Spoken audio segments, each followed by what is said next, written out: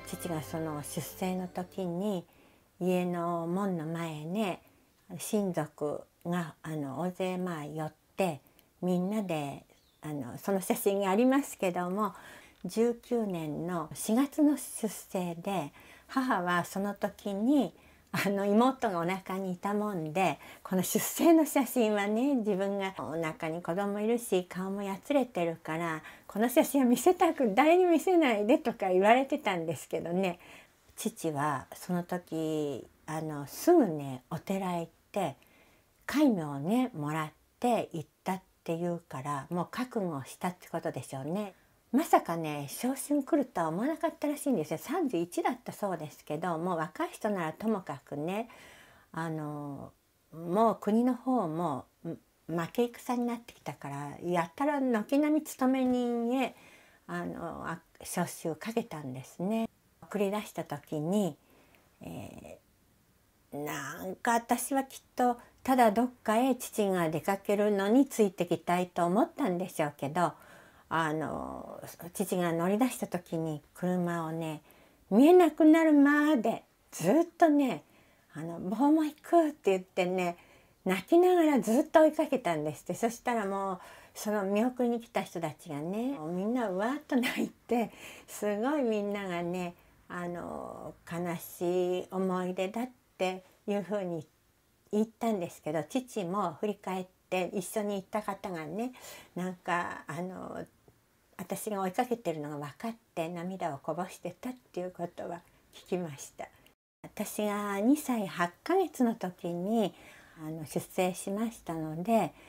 まああの残された写真でああこんな人だったんだなって思うけどもあのただ一回家族で、えー、家族旅行熱海へ行ったっていう話を聞いたんですよね。そしたらその時にあの列車へ列車とホームの間へ私が履いてた革靴を落としちゃって片一歩その時に後ろで抱っこしてくれてたのが父だったっていうその温かみというかねそれだけがあの時一緒にや行ったんだなあれがあのおんぶ抱っこしててくれたのが父だったってそれだけで顔は何にも覚えてないんです。妹も顔は知らない。マッチも知らない。あのどちらも一度もね私は抱かれたことはあるんですけどね。そんな中であの親子3人の生活が始まりました。妹はね「マキコ」って言うんですよ。向こうからね手紙が来て女の子だったら「マキコ」とつけてくれってあの父がつけました。父も戦地でかなりうちのことをね心配してたんじゃないかなって思いますね。ではがきがね8時からいつもいつも「あの妙子は元気でやってますか?」ってね 妹のあのマギ子と仲良く遊ん遊んでますかとかねお母さんの言うこと聞いてねっていうハガキはねよく来ましたね私と母あってと周りの親戚へねで終戦の時生きてたからあこれで大丈夫ってみんなこう安堵してあ戦争が終わってよかったねってじゃあ貨幣さんももうね近いうち帰ってくるよって言ってたんだけどいつになっても帰ってこなくてあの今のようにこう道路はアスファルトじゃなくって普通の硬い土の道だったんですけどねあの夜中にね兵隊さんの靴音っていうのがね私えー、まだ小学校入る前だったけど夜になるとねあの復員して帰ってくる人がね時々夜その革靴のような靴であの歩く音が夜中にねこう聞こえるんですね。で何度かね母が「あらうちの前で止まったかしらね」って言ってで雨戸をね開けて 2人でこう外を開けて開けたってことがね何度かありましたね。戦死した時は、えー、法が入ってからか入る前だったのか分かんないんですけどなんかねうちへ訪ねてくれた人がありましてね病院に入院してた時にもうこれが日本へ帰る最後の船だから乗りませんかってその人がうんと誘ったけどももうね私にはその体力がないから乗れないって乗れないって言ったのを連絡に来てくれたのかしらね。なんかそんなようなことでダメかもしれないっていうようにだんだんこうあの、まあ、雲行きが悪くなってきてそれで戦士の方が入った時に母のねお兄さんがあの九州と広島まで確かめに行ってくれたんですよね。これがもう日本へ帰る最終の船だって言ったけどあの久保田さんはもう私には乗る体力がないってそう言ったっていうことを確かめてきたからああじゃあ間違いないんだって言ったんですけど何しろお骨も帰らず何にも戻らなくてでとんでもない頃のあの戦士のね法だからこう半分信じられないんですよね。まああの母が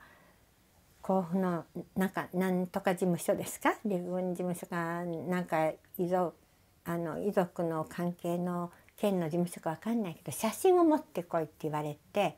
写真を持ってって白木の箱に入れてそれでそれで葬式をあの済ませました。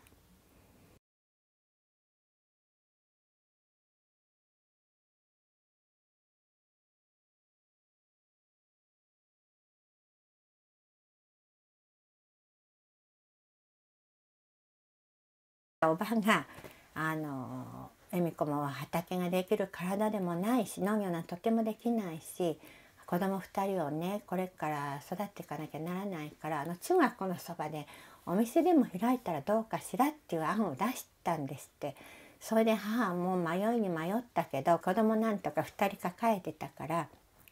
じゃああのやってみようかって商売の経験も何にもないほんと苦労知らずに育っちゃったもんでなお苦労に感じたらしいんですけど母は。まあお店をするにはねあの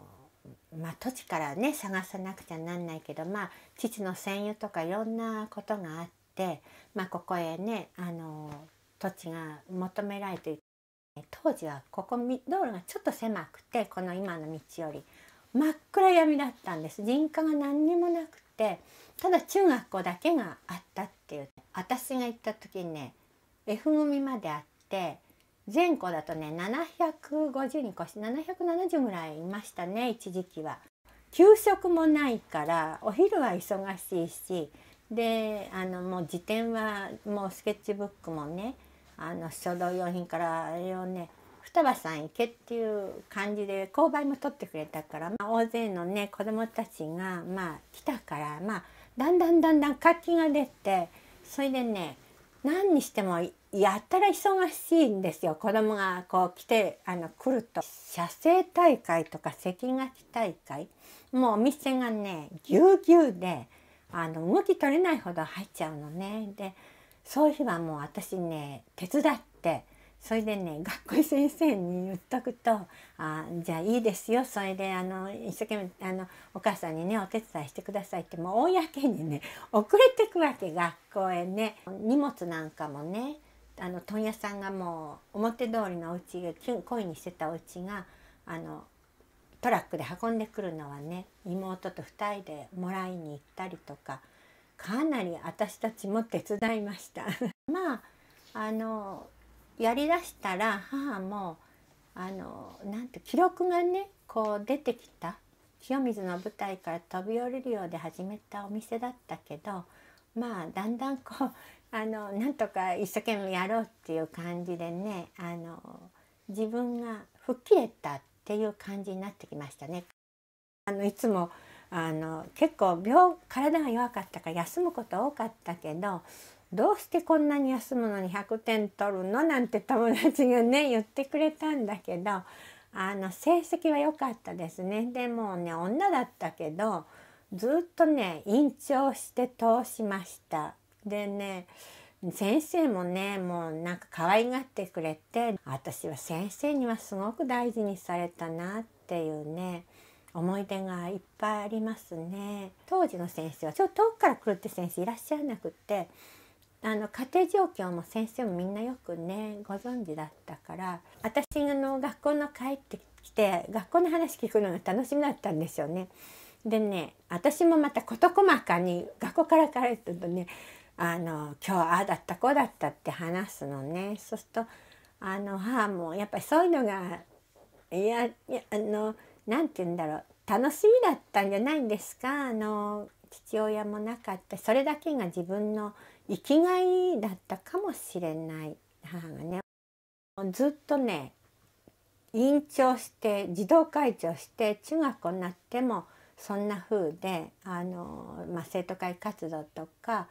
があの自然にねあの別に頑張ったわけじゃないけどあのみみんなと仲良く先生にも大事にされながら楽しい学生生活を送りましたね。私が行きたいなと思った学校が東京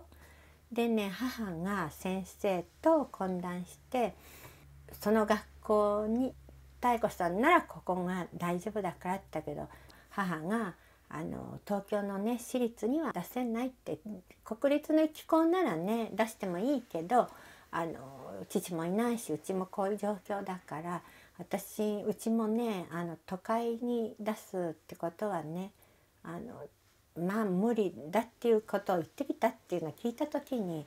その時ねそれまで妹と3人の暮らしがああ父がいないから困るんだとか悲しいとかそういう思いは全然なかったんですけどあこれがあの父がないってことだなってその時初めてね気づきましたね。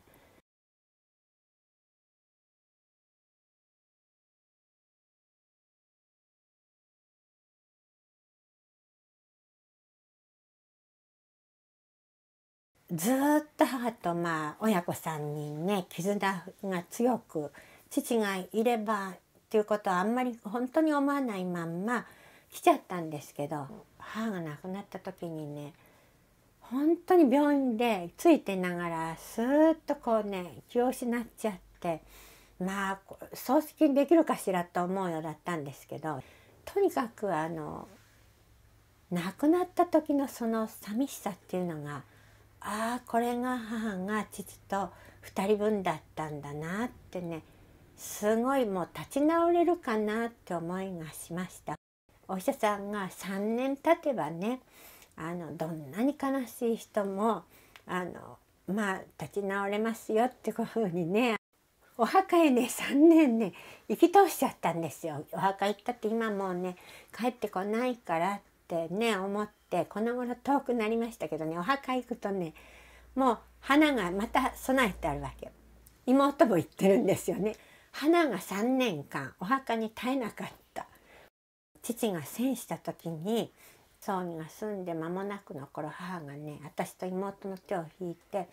勝沼駅まであの行って電車電車で行って遠いんですよね。バスで行ってもあの歩かなきゃならない。その伊沢のお寺へ2人の手を引いてねあの